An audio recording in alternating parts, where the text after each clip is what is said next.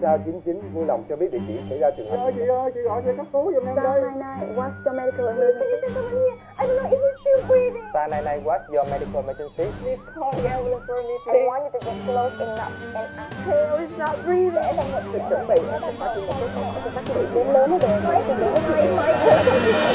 Em chuẩn bị Star 99, what's your medical emergency?